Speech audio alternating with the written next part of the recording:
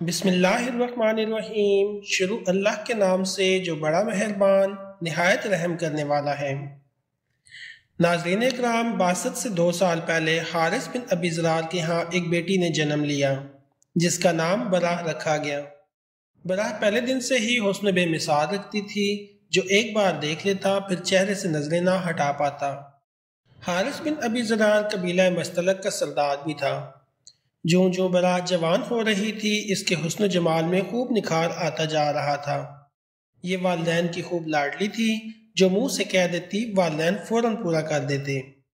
वक्त बड़ी तेज़ी से बरा को बलूगत की सरहदों के करीब ले जा रहा था और फिर एक दिन बलूगत की सरहद पर पहुंचकर अबूर कर गई।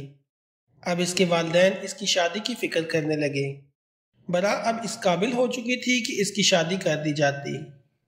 इन्हीं दिनों एक रोज जब हारिस बिन जरार और इसकी बीवी दोनों आपस में बैठे बातें कर रहे थे कि कबीले का एक मशहूर शख्स सफ़ान आ गया, जिसने इनसे बरा को अपने बेटे मसाफे के लिए मांग लिया। दोनों माँ बाप इस पेशकश पर बहुत खुश हुए और इन्होंने फ़ौरन ये रिश्ता कबूल कर लिया और जल्द ही बरा और मसाफे रिश्ता अजवाज में मुंसलिक हो गए। कुछ अर्सा तो ये दोनों बहुत खुश खुरम ज़िंदगी गुजारते रहे, मगर फिर एक रात बरा अपनी ख्वाबगाह में आराम कर रही थी कि इसने देखा यसरब की तरफ़ से चाँद चलता आ रहा है। यहाँ तक कि वो इसके करीब आया और इसकी आगोश में उतर गया। इतना ही देखा था कि फ़ौरन इसकी आँख खुल गई और वो ख्वाब के बारे में सोचने लगी। इस ख्वाब की ताबीर क्या हो सकती है? यसरत में तो इस वक्त मोहम्मद मुस्तफ़ा सल्लल्लाहु अलैहि वसल्लम का दीन अरूज पर है। क्या ये चाँद मोहम्मद सल्लल्लाहु अलैहि वसल्लम है? नहीं नहीं, ऐसा नहीं हो सकता। मेरा शोहर, मेरे वालदेन और मेरा कबीला तो मोहम्मद सल्लल्लाहु अलैहि वसल्लम का बहुत बड़ा दुश्मन है। ये कैसे मुमकिन है? इसने इस ख्वाब का ज़िक्र किसी से ना किया, मगर न जाने दिल में इस ख्वाब की क्या ताबीर ली और मुस्कुरा दी। जब अगली सुबह उठी तो चेहरा पहले से ज़्यादा हशाश पशाश था। बरा के शोहर मुसाफिर ने पूछा कि क्या बात है? आज तुम खिलाफ मामूल खुश नज़र आ रही हो। इस पर अपने शोहर को असल हकीकत ना बताई और बात को टाल दिया। इन्हीं दिनों बरा के वालिद हारिस बिन जरार ने मदीना पर यलगार की नीयत से तैयारियाँ शुरू कर दी। वो और इसका कबीला मुसलमानों की बढ़ती हुई ताकत को किसी सूरत कबूल कर नहीं कर सकते थे। बस जैसे ही इन्होंने जंग की तैयारियाँ शुरू की इसकी खबर पैगंबर आखिरज़मा हज़रत मोहम्मद मुस्तफ़ा अलैहि वसल्लम तक भी पहुँच गई। आप सल्लल्लाहु अलैहि वसल्लम ने करीबन एक हज़ार मुजाहिदीन के लश्कर के साथ बनी है मस्तलक की तरफ़ कूच फरमाया और इस सफ़र में आपके हमरा उम्मिन हज़रत आयशा सदीक़ा रज़ी अल्लाह तहा और उम्म सलमा रज़ी अल्लाह तहा भी थीं। दूसरी तरफ़ हारिस बिन जरार और इसके कबीले को जो ही पैगंबर इस्लाम के लश्कर की जरीद की खबर मिली इन्होंने राह फरार अख्तियार करने में ही आफियत समझी। मगर कबीले में मौजूद चंद अफराद ने सफ़ें बांधी और मुसलमानों पर तीरों की बरसात शुरू कर दी। इन्होंने खूब डट कर मुकाबला किया, लेकिन लश्कर इस्लाम के सामने ज़्यादा देर कायम ना रह सके और मैदान छोड़कर भाग खड़े हुए। इनके दस लोग वासले जहन्नम हुए, जिनमें बरा का खावन मुसाफ़ बिन सफ़वान भी था। इसी तरह दो हज़ार ऊँट, पाँच हज़ार बकरियाँ माल गनीमत में मिली और दो सौ घरों के कमो बेश छः सौ मर्द औरतें और बच्चे असीर हुए।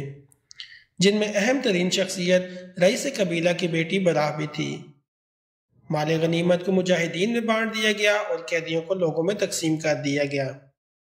और बराह बिनते हारिस, हज़रत साबित बिन कैस बिन शमास रज़ी अल्लाह तहों और इनके चचाजाद भाई के हिस्से में आ गईं। इसने हज़रत साबित से कहा कि मैं मुकातबा बनने के लिए तैयार हूँ, यानी जो आप रकम चाहते हैं मैं आपको दूँगी। अगर इसके बदले आप मुझे आज़ाद करें। चुनाचे हज़रत साबित ने बरा से कहा कि आप मुझे नवाकिया सोना दे दें, आपको आज़ाद कर दूँगा। मगर बरा के पास देने के लिए इतना सोना नहीं था। बरा ने सोचा, मेरे पास तो इतना सोना नहीं है, क्यों ना मैं इनके नबी के पास अपनी अर्ज़ लेकर जाऊँ? बरा ने यह सोचा और नबी अकरम सल्लल्लाहु वसल्लम के दर अकदस पर जा दरवाज़ा खटखटाया। यानी बरा अब अपने ख्वाब की ताबीर की तरफ़ बढ़ रही थी। उमिन हज़रत आयशा सदीक़ा रज़ी अल्लाह तहा फरमाती हैं, वो नहायत हसीन जमील दोशेज़ा थी।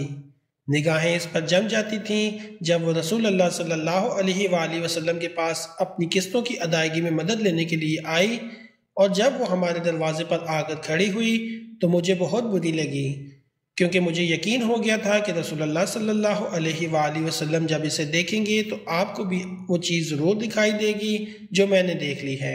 चुनाचे वो कहने लगी, ए अल्लाह के रसूल, मैं हारस की बेटी बड़ा हूँ। मेरा मामला आपसे पोशीदा नहीं, यानी मैं मफतूहा कबीले की कैदियों में आई हूँ।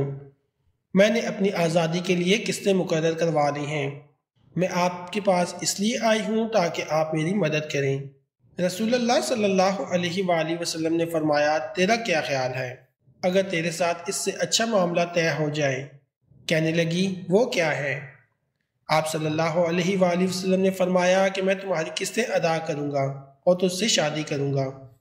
बराक को तो जैसे अपने कानों पर यकीन न आया, फ़ौरन वो ख्वाब जहन में ताज़ा हो गया।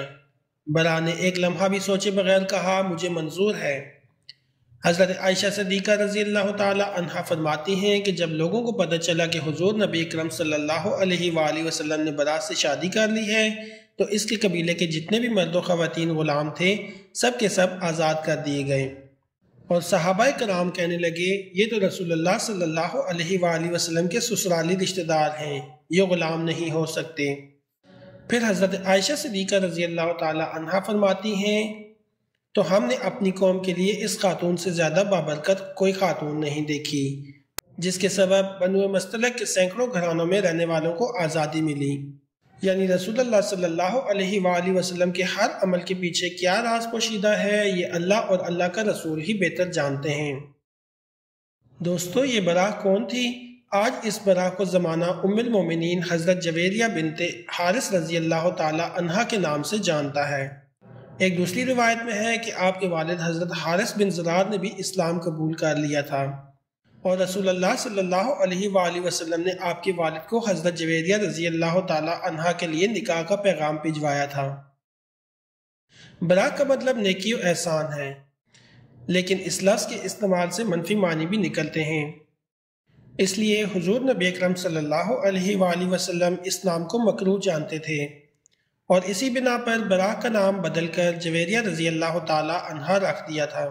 इसके बाद हज़रत उमिल मोमिनीन जवेरिया रज़ी अल्लाह तहा के तमाम बहन भाई भी दौलत इस्लाम से माला माल हो गए। सैदा आयशा फरमाती हैं कि जवेरिया रज़ी अल्लाह तहा बड़ी शीरी मौजू अंदाज और साहिब हसन जमाल औरत थी।